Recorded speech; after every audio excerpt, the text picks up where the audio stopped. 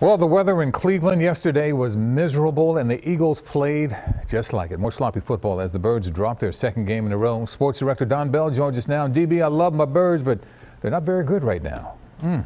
Man, it was tough to watch yesterday, wasn't it? Yes, sir. Very much so. All right, so, yeah, so check this out. For better or worse, when the Eagles gave Carson Wentz a $128 million extension, they essentially put a ring on his finger. And now the two have to work through the worst.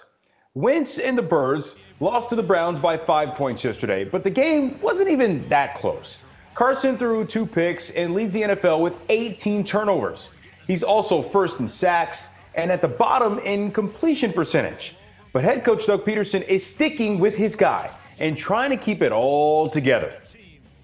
Uh, as as poorly as things have been, uh, we still have a great opportunity in front of us. And I want to make sure that everybody understands that we still have to go out and practice. We still have to meet.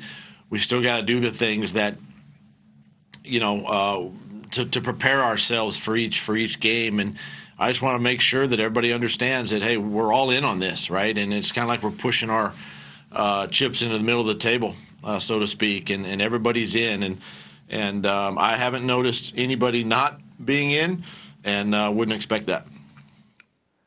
Now, Pederson says benching Wentz would be a message to the team that the season is over. Next, a Monday night showdown with the 7 and 3 Seahawks. We'll have more on the Birds at 6. Until then, I'm Don Bell. Back to the studio. Mm -mm. Okay, DB, we've seen a little bit. Thank you so much.